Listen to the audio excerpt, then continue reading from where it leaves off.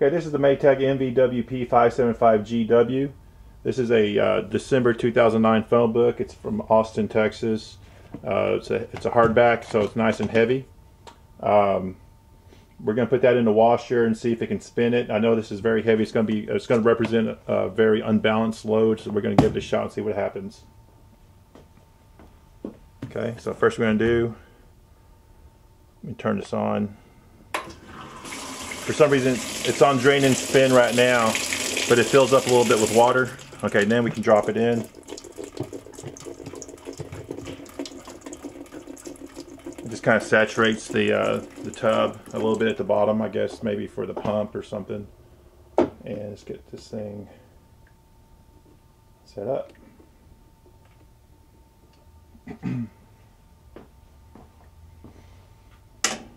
okay, door's locked. Thank you.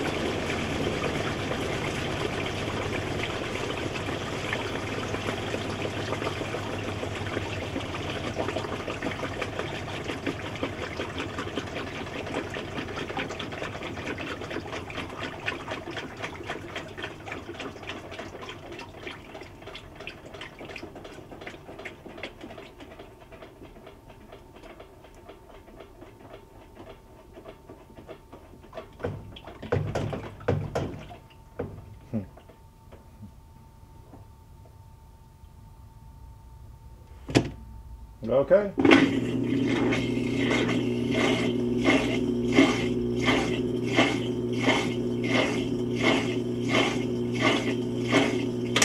All right, so we're done. And I did this for the other brand. Um, somewhere in here. And that's us.